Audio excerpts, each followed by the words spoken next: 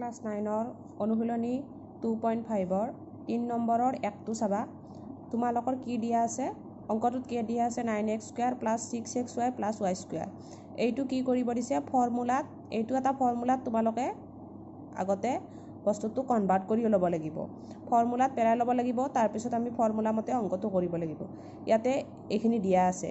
তোমালোকক মই এটা ফৰ্মুলা দিছিলোঁ A plus B whole square সমান এইটো কি? A square plus twice A B plus B square এইখিনি দিয়াৰ লগে লগে তোমালোকে চাই ল'বা যে এইটো কি ফৰ্মুলাত আহিছে। আমাৰ এইটো কি আছিলে? A plus B whole square সমান A square plus twice A B plus B square এইখিনি চোৱাচোন এই ফৰ্মুলাটোৰ এইফালে থকা থকাখিনি চোৱাচোন। A square plus twice A B plus B square এইখিনি যে দিয়া আছে আমি এইখিনি এনেকুৱা দৰে কৰি ল'ব লাগিব।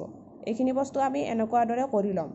এতিয়া চাবা নাইন এক্স স্কুৱেৰ আছে। নাইন এক্স স্কুৱেৰটো আমি কি হিচাপত লিখিব লাগিব? A square. ঠিক আছে? নাইন এক্স স্কুৱেৰটো আমাৰ কি হয়? এ স্কুৱেৰ হয়। এতিয়া নাইন এক্স স্কুৱেৰ এক্স স্কুৱেৰটো এ স্কুৱেৰ হিচাপত লিখিব লাগিলে আমি কি কৰিম? আমি তিনি লিখিম। কাৰণ তিনি যদি এইটো নাইন এক্স স্কুৱেৰটো এ স্কুৱেৰ হিচাপত লিখিলে ওপৰত স্কুৱেৰ থাকিব লাগিব আকৌ এইটো মিলিব লাগিব। আমি যদি থ্ৰী স্কুৱেৰ লিখোঁ নাইন পাম। আৰু এক্স দুটা আছে এক্সত যদি স্কুৱেৰ লিখোঁ এক্স স্কুৱেৰ পাম। গতিকে আমি এইটো কি লিখিব পাৰিম? থ্ৰী এক্স হোল স্কুৱেৰ মানে কি? থ্ৰী এক্স হোল স্কুৱেৰ মানে কি হয়? তিনি স্কুৱেৰ পূৰণ এক্স স্কুৱেৰ হয়নে? সমান কি হ'ব? নাইন এক্স স্কুৱেৰ আমি পাইছোঁনে নাইন এক্স স্কুৱেৰটো গতিকে নাইন এক্স স্কুৱেৰটো আমি থ্ৰী এক্স হোল স্কুৱেৰ লিখিব পাৰোঁ। প্লাছ কি লিখিম? টু এ বি টু লিখিলোঁ। এ মানে কি পালোঁ এতিয়া? এইটো এ হৈ গ'ল থ্ৰী এক্স আকৌ বি কি? বি মানে আছে আমাৰ ৱাই বি স্কুৱেৰ আছে নহয় এইখিনিতে। বি মানে ৱাই আছে এইটো বি স্কুৱেৰ এইটো কি লিখিম? টু এ বি টু দিলোঁ এ মানে থ্ৰী এক্স আৰু বি মানে Y plus B square B square মানে বি মানে আমাৰ কি? ৱাই গতিকে বি স্কুৱেৰ এতিয়া আমি কি পালোঁ ইয়াতে? A square plus twice A B plus B square আমি পাই গ'লোঁ। এতিয়া ফৰ্মুলা মতে কি আছিলে? A square plus twice A B plus B square সমান কি হয়? A plus B whole square আমি এইটো এইখিনিৰ পৰা আমি কি লিখিব পাৰোঁ? এইখিনি সমান আছিলে A plus B whole square গতিকে এইখিনি সমান আমি কি লিখিম? A plus B whole square A plus B whole square লিখিম। এ মানে কি? থ্ৰী এক্স প্লাছ বি মানে কি? ৱাই হোল স্কুৱেৰ দিলোঁ। এতিয়া A plus B whole square আছে।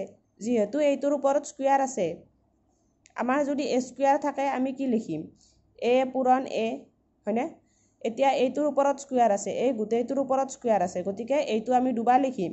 থ্ৰী এক্স প্লাছ ৱাই এইটো একো নাই মানে পূৰণ আছে থ্ৰী এক্স প্লাছ ৱাই